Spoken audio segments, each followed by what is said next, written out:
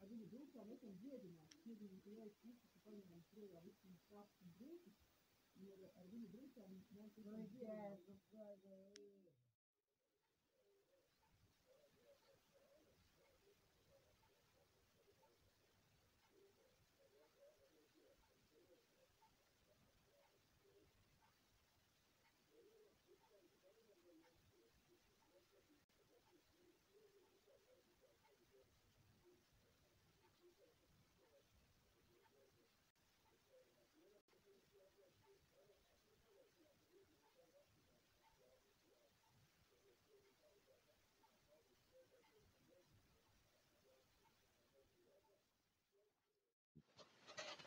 Um, I wanted to say that, yeah, every day is a big test, and every day you will be tested by your faith.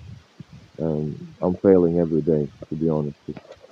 I should be come, if I need to be honest and say honestly what's happening to me, I'm failing every day, even if I, I'm failing every day, and it's just, um,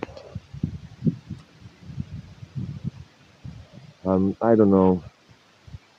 Most of the time, it's a pride. Probably it's a pride thing, and I just want you to tell that whatever happens, don't let the Satan dictate your your fate. Don't dictate him what to think and what to do. And yeah, for these last six days or more than that, I've I've been actually too much deep inside the.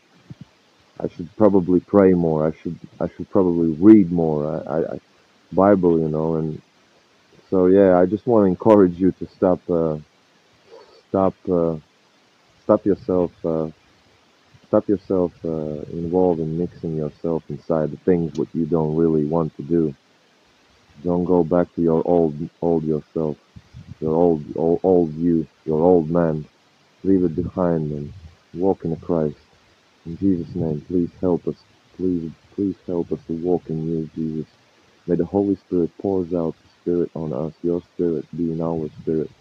May we may we be together with you and give us a fruit that we can produce them and share them to the people who love you and who trying to come to you. In the name of Jesus Christ. Amen.